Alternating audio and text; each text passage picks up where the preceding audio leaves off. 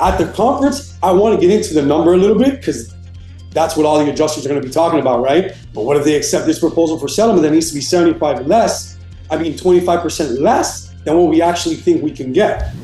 The PFS is not a typical settlement proposal, right? This is an official settlement that is filed with the court. They do not know the amount, right? But it's essentially a mechanism to put the other side on the hook for attorney fees and costs.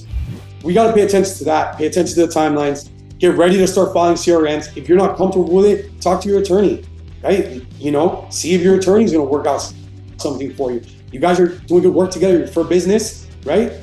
And they'll make it happen.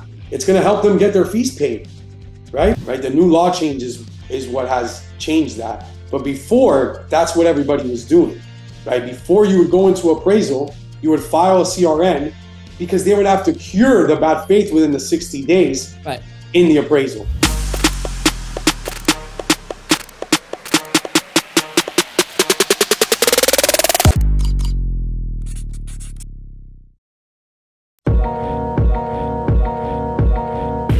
Welcome to the Claims Game Podcast with Vince Perri.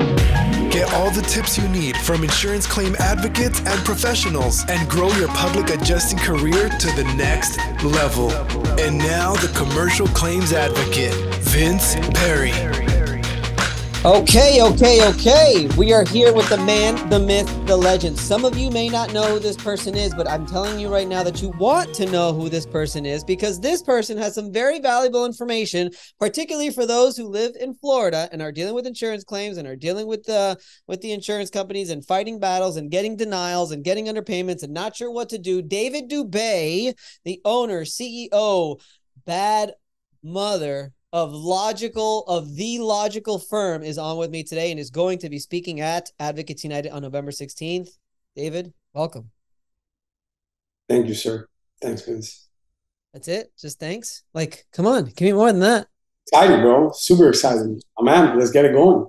So David is going to be David. I first want to thank you. Like seriously, thank you for trusting in myself and my team, uh, for being the platinum diamond headline sponsor and and supporter of this event. Like seriously i'm sure you know like what goes on in the background of these things. And it's it's a lot. It's a lot of cost. It's a lot of work. It's a lot of stuff that goes on behind the scenes. So i want to appreciate i want to say thank you uh, for your support. And i want you to know that I trust in you to do it because, frankly, I know that you've got valuable information. You and I talk very often. We love to talk shop. We love to talk claims. Uh, you are an attorney. Uh, you've been in this business for a long time. Not only that, what I admire about you, David, is you also are a former roofer. You know what it's like to be in the grind. You know what it's like to get up on that roof and do those inspections and chalk it up and put together an estimate and so on and so forth. You are unique in your experience to be handling these claims and fighting with the opposing counsels and with the attorneys on trying to do good for the insured. So I want to thank you for all of that. Thank you, sir. I appreciate the opportunity, man. I definitely wanted to be a part of this once you uh, put that out there. So you and I spoke a couple of weeks ago, and you already know, obviously, and anybody living in Florida knows that uh, we no longer have attorney fees and cost statute. So that means our, and by our, I mean public adjusters and obviously uh, homeowners as well. But I always say our, our, our, what was it? Like our ace in the hole, or, mm. our, our, our, our, our, like bazooka in the back to put you down. Like that's gone now.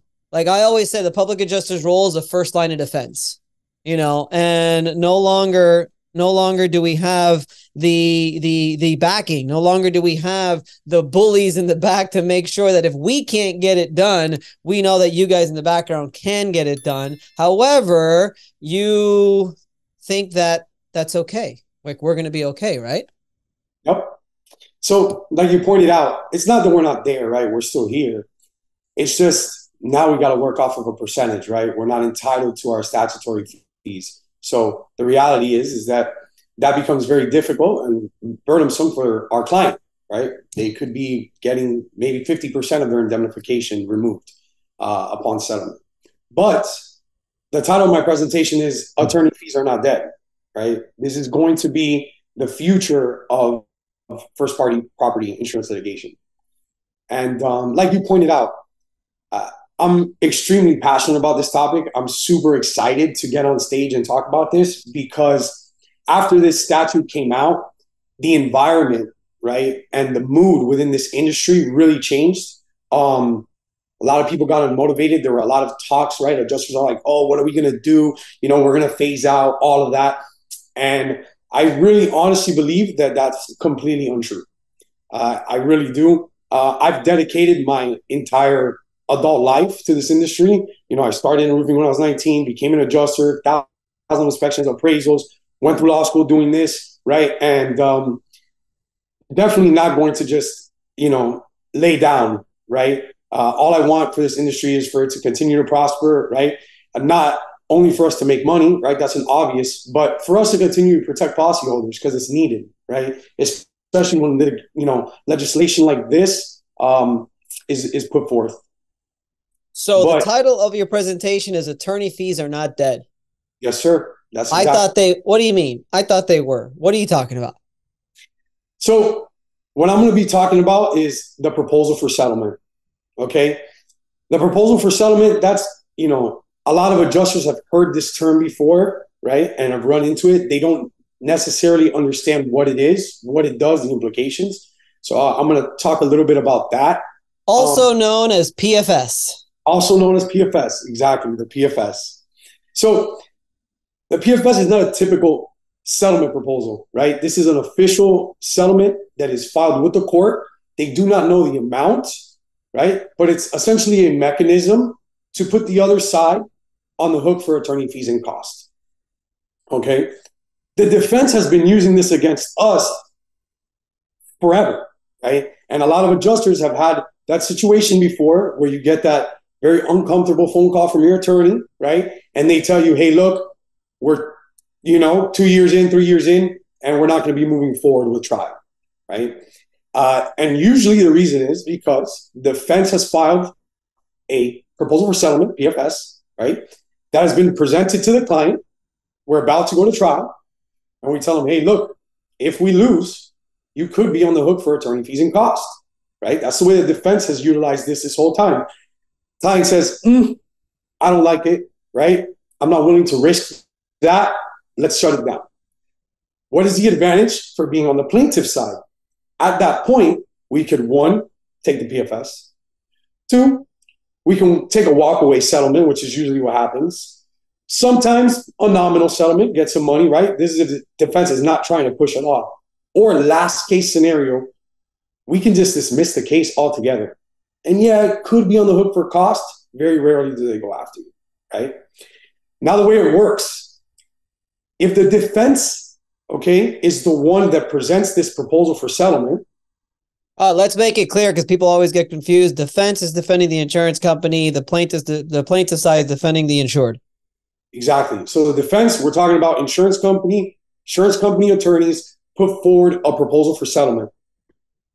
If we go to trial, we, the plaintiffs, would need to get at least 75% of that number. So, give you an example.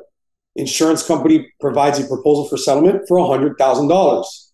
If we go to trial, we would need to get 75,000 or more to not be on the hook for their fees. Because remember, they're the ones that filed it. Okay, so they file their proposal for settlement. They create a threshold. That threshold is 100 grand. The rule when they file is we need to get at least 75% of that number in a judgment. If we don't, let's say it's 70 grand that the jury awards, then could be on the hook for attorney fees and costs, right? So this is now we are going to be utilizing the same mechanism. Okay. How does it work? One, important thing, it needs to be filed 91 days into the lawsuit. So no earlier than 90 days after they're served. So we gotta wait. Okay. After we file, they got 30 days to accept it or reject it. They do. They do. The, and they means the defendant, right? So we, the plaintiff, are now filing a proposal for settlement. The way it works is this. When we file the proposal for settlement, and this is the caveat, this is the interesting part, this is what we're going to talk about. We have to get 25% above the number that we provide in the proposal for settlement. Meaning, we provided proposals for a settlement as the plaintiff for $100,000. We would then need to get a judgment of $125,000 to trigger the PFS and be entitled to our attorney fees and costs. So that number that we use as the plaintiff is going to be the interesting thing, right? But there's only two scenarios here, Vince, right? It's either insurance company accepts the PFS, right? Or they don't. If they don't, at that point, we're entitled to our attorney fees and costs, right? They want to settle this case. That's what we're going to be asking for for a release. And if they do, case is settled, right? right. People get their percentage and we move on. So, what I want to talk about at Advocates United is let's present these scenarios, right? Do we think that the insurance companies are just going to go around accepting every PFS that we file? Highly unlikely. And if they do, case is settled, right? But if they don't, we are almost in the exact same position as long as the PFS is legit, which is pretty simple, has to be reasonable and not ambiguous, we're entitled to fees again. But what's the insurance company's incentive to not settle, not not accept it? What's their incentive? Well, think about that, Vince. If they go accepting all these PFSs, every PA is going to be like, hey, tell the client from the beginning, they'll deny it, but once we present the PFS, they're going to settle. It's not going to happen. The insurance company is not going to just say, because we thought you had no merit on the case, cases that they say we have no merit on all the time that we win, they're not all of a sudden now going to say, you know what? Because we don't want to be on the hook for fees. Here you go. But why not? I that's what I'm assuming they're going to do. They, they wouldn't wouldn't I wouldn't put it past them. Well, then you're saying they're going to pay every claim. What's the problem with that? That's essentially what you're telling me then. But they're- I mean, you would think in a in a perfect world, you would think that uh, they would try to avoid because the attorney fees and costs. You know, I don't usually like to ask about my attorney's business. You know, a lot of times, a lot of different attorneys. I know you. I think you do sometimes, but you'll send like the breakdown of what everybody gets paid and stuff like that. Um, a lot of attorney fees and costs. That stuff adds up quick, and I can see how by accepting it not only do they not have to pay the attorney fees and costs, but they're not going to have to pay the extra 25%. What are the 25%? Because you said that if they don't accept if they don't accept the proposal for settlement, that means we have to settle for 25% more than what yeah, the proposal for settlement was. Yeah, if we go to trial, you would have to get a judgment over 25%. If we go to trial. If you don't go to trial, it doesn't matter. It doesn't matter. So that's uh, the interesting part. The ah. practical part of this is most of the time they're going to settle before. Of course. And we're going to be settling our attorney fees and costs. 15 years. 15, 15 years, David. I've never been to trial. There we go. All right. So let, let's talk about this, right? I want to go back to your point. You would think that it makes sense. But Vince, what type of standard is the carrier?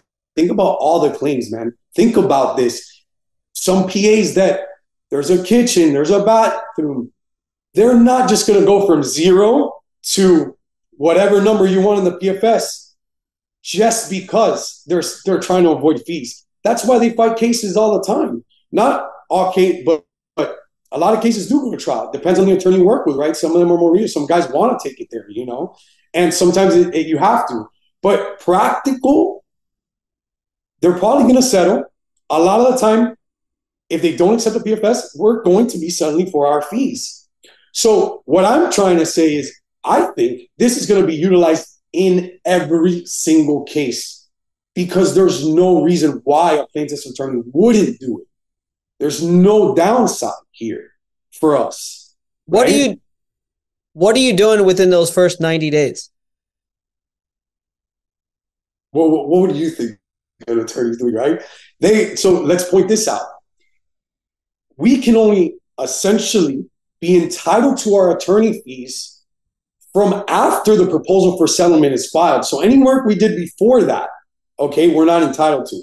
So what are most attorneys going to do? And again, this has to be an honest discussion with the client, the PA, we're probably going to send a complaint and wait for an answer. Probably not going to send discovery initially, right? Or get within that, you know, rigmarole before the PFS is filed. That, but again, if it's for the potential for the client to save 33.3, 30, 25, whatever it is that the arrangement is, I do believe that a lot of clients and adjusters are going to be on board, right? You're also telling the client, if we do go to trial, which is a possibility, if we file this thing, you could not have to pay 33.3, 30% of whatever it is that you're going to get. So, in my opinion, this has to be utilized on every single case. And if you're talking about a $10,000 kitchen, little bathroom, of course, right? Because it makes no sense for you not to. If they accept the proposal for settlement, hey, you make, very, you make, your percentage done. If they don't, then as an attorney, you can, on a $10,000 kitchen claim, they still might be on the hook for 10, 15, 20, 25, whatever in attorney fees, depending on where it goes. Right? So let's go back to the scenarios, Vince. They can either just accept it or reject it. We got two things that are going to happen. They accept it, case is done. They don't, now we're entitled to attorney fees and costs, right? As we move forward. If we're gonna, they're gonna try to settle with us on a release, we're asking for that, right? So that's the overall gist of this. At the conference, I want to get into the number a little bit because that's what all the adjusters are going to be talking about, right? But what if they accept this proposal for settlement that needs to be 75 less? I mean, 25% less than what we actually think we can get. That's going to be the interesting part because if you're also an adjuster who's throwing in the tile flooring all over a house, that you might not get that in trial because it's not justified, then you might have to revamp that that estimate or that number when it's you're going to provide the proposal for settlement. That's what I wanted to get to next. Like, what is it that you're doing in preparation for those 90 days? Is really what I wanted to get to in like in the proposal for settlement that you're going to be presenting. Like, is if I have a hundred thousand dollar claim and I have a hundred thousand dollar estimate, and you present a proposal for settlement for let's just say fifty thousand dollars, and let's say the client's like, whatever, you know, like, is that proposal for settlement of fifty thousand dollars? Is that like final? Does that like put you in a hole for when you're trying to negotiate later on in the claim? Like, hey, well, you had a PFS for fifty thousand dollars, and now you want seventy five. Get out of here. No, that's that's the interesting part. The proposal for settlement is essentially just that mechanism, and that's why they better accept it or not because if we come later, we can go for whatever we want. And I'll get into another caveat. But the number, let's talk about preparation for the 90 days. This is going to become essential. Proposal for settlement is going to become the focus in that first 90 days. And what is the actual focus of the proposal? The monetary term, which is the number. So what we got to do is talk to the client, get real world numbers, be ready for us to all be on the same page about what number are we happy with if after, it is accepted. after everyone gets paid. Exactly. So my advice and what I'm doing is I'm sending a proposal for settlement acceptance to the client with a breakdown. This is what we're going to offer. This is what your PA is getting. This is what we're getting. This is your net. Sign off. Then we file. Until the client agrees that we're going to file this instrument and they understand what it does, we don't do it. That's my advice.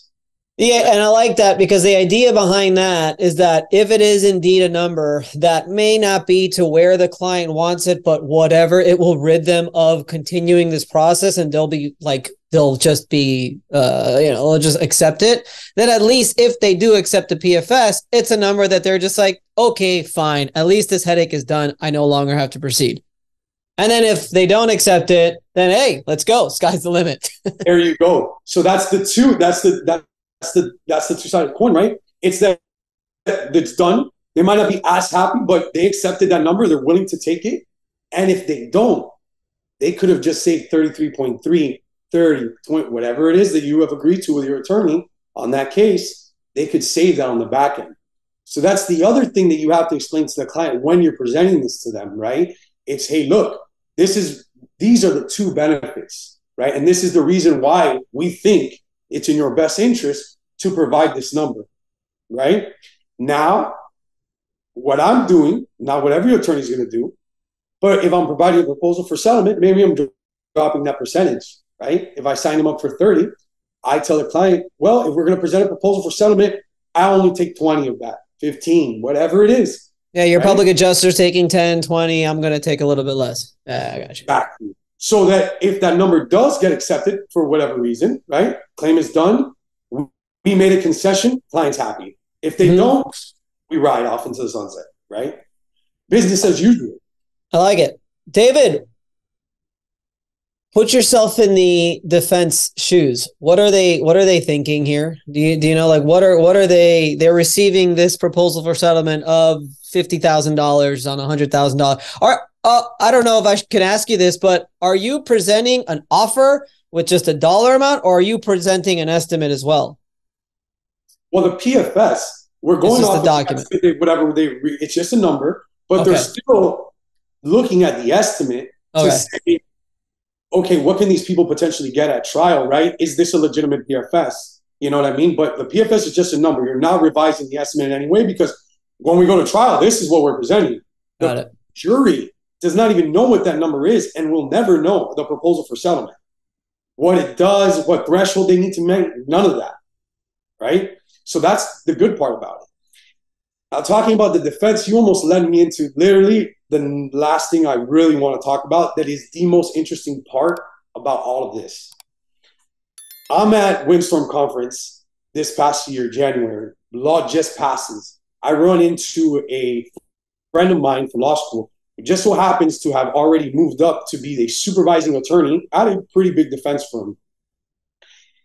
Me and him are having some discussions, and he does not seem at all phased, right, by the legislation.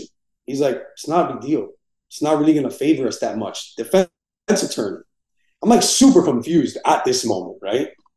And he's like, man, how are we going to accept the PFS if there's a CRN? And I'm like, okay, not really registering too much. We keep talking a little bit, start doing some research. And this is the most interesting part of the whole scenario for us on the plaintiff side. In this PFS, there can be included no non-monetary terms. Okay. So if we send them a PFS and they accept it, but there's a CRN lingering, that does not get them out of bad faith. That was an amendment to a civil procedure rule. I think it's 1.442 by the Supreme Court yeah, but they're just going to provide a release for you to sign that's going to, well, I mean, obviously. On Vince, but that release has nothing to do with the proposal for settlement. The mechanism and the threshold has been set by the proposal. You want a release, you got to call me outside of that. And we're talking a new number, and it doesn't change yeah. at all. But Vince, that's the biggest thing, right? If I'm offering you 50, we got a $100,000 estimate. If you call me, so to settle on a release, the number's not 50, the number's now 75. Right? Those are different terms. And it doesn't it doesn't take away anything from my PFS. If they don't accept it in 30 days, Vince, we're entitled to attorney fees and costs, regardless. If they so, don't accept the PFS in 30 days? Exactly. And how can they accept it if there's, if there's a, a CRN lingering bad faith claim? Real quick, I like to educate CRN, also known as the civil remedy notice. It is a bad faith complaint. Uh, it is something that you know that we actually normally try to handle in house. It used to be status quo for us. Like anytime there was a denial, uh, underpayment, uh, just pretty much a lot of just pretty much you could you could relate a lot of stuff that happens in a claim uh, in the life of a claim to bad faith. 100%.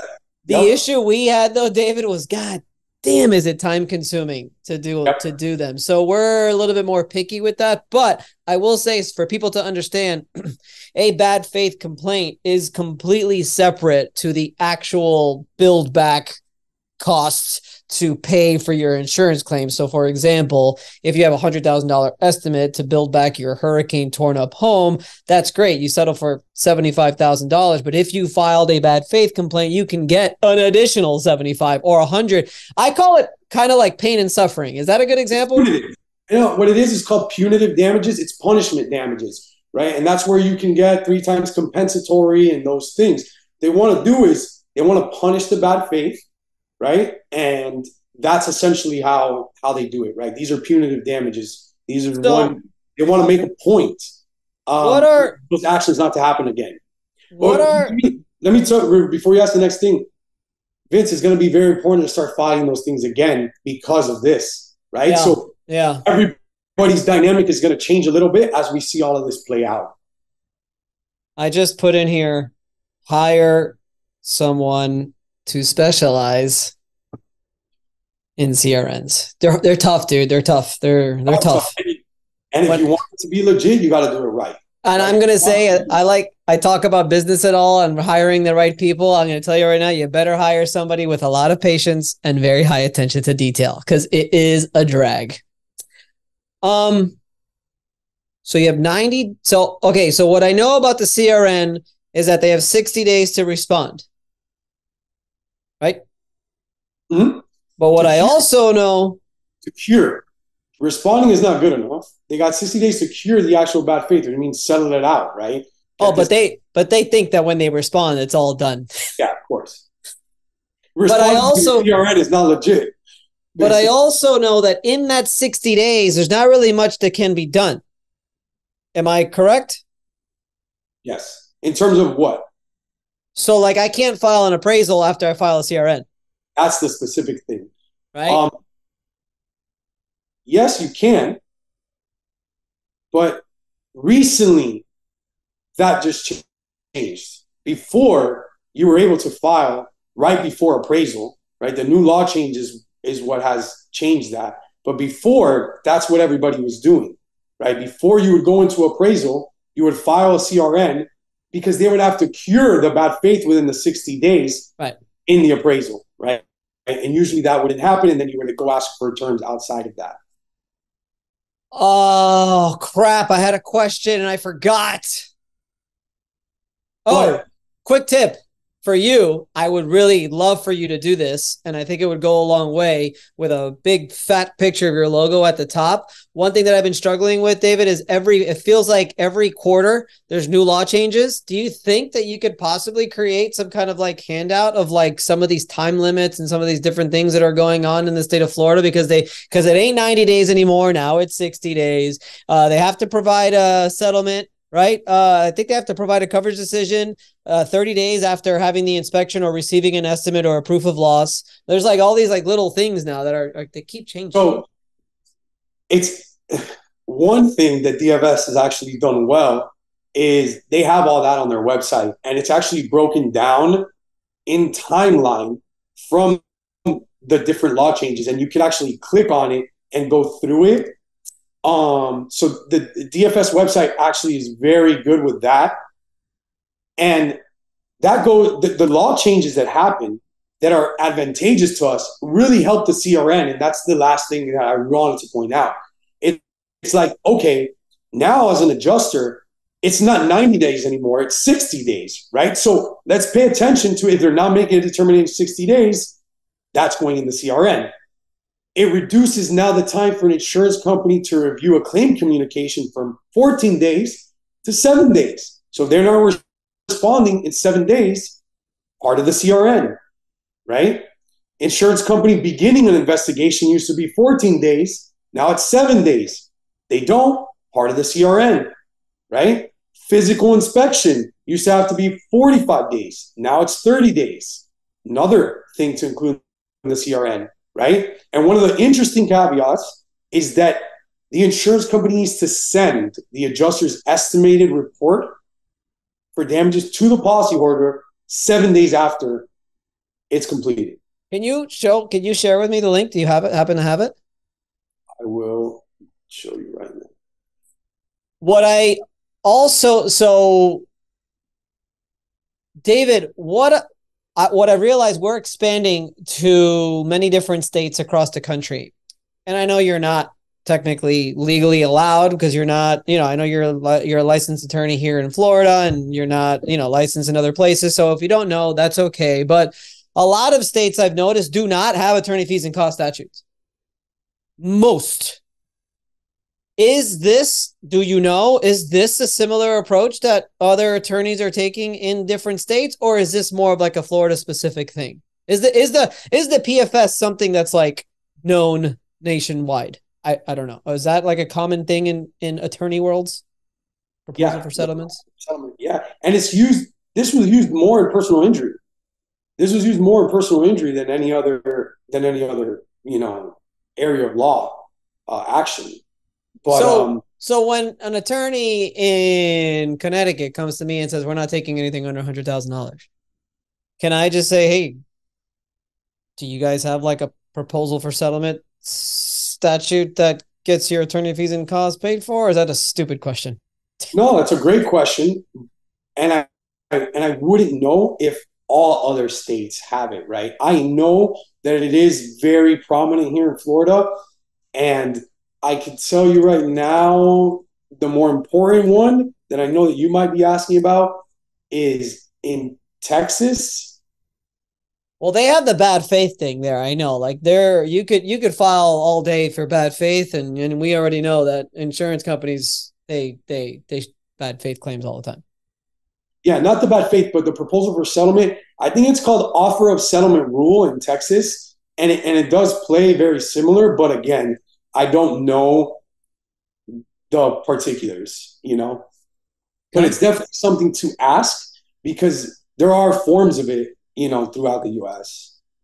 All right, so you're going to be speaking to a room full of mostly public adjusters. You are speaking to a lot of public adjusters right now on this podcast. What do you suggest? What do you recommend uh, the public adjusters do um, after hearing this information, knowing that hey, look, there's a there's an actual process here, uh, a very good process that whichever one happens, you know, should end up with a semi-happy client. At least, you know, hey, if this is what they're accepting, this is what they're accepting, and then if it goes on, they're not going to have to pay attorney fees and costs. So, no matter what, even if it ends up with an attorney, because I will tell you, the public adjuster mindset, especially now, we're just like, I'm going to tell. Actually, I'm going to speak from the public adjuster. We're like, we don't even know how to sell this. Like, okay, all right, so. This, this is this is this is the public adjuster, David. Claim is severely underpaid. The, the the insurance company knows that they could break our balls until the end of freaking time because they think in their mind, what are you going to do about it? So we're having trouble with our pitch, right? To the client saying, hey, so it used to be, I think you should file a lawsuit. Don't worry, it's no cost to you. You don't have to worry about anything. You have nothing to lose. Just go for it. The easiest pitch in the world. Now it's like, well, my fee is 10 or 20%, and the attorney is going to charge you 33%, but he may give you a break of 25%. But even if it's 25%, you add on my 20%, it's going to be 45%. We're going to take half of your claim. And they're just like, yeah, you know what? I don't want to do this anymore. It happens a lot now. Like you're losing a lot of cases because we can't really, we're not really sure how to pitch it. So what do you I'm not asking you I don't I don't want to ask the question I don't I don't want to ask you for the pitch, but what do you I actually like the pitch, right? Because remember, I used to be an adjuster, so I what's, so feel what's the pitch? I feel the pain, right? One, you got to talk to your attorneys, and for us, it sucks too. But they got to incorporate the proposal for settlement into the pitch, right? In terms of having them understand, hey, there's a chance, right? How we're going to do that, that takes time, right? And for the client to even understand, fathom what that is, is pretty difficult. But as an adjuster, it's really the attorney that needs to really handle that pitch. And the pitch is the claim is open, right? Determination is there.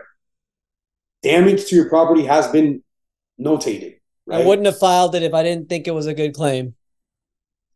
what benefit do you gain from stopping right now? That's the question you have to present to the client, right? Claim is open.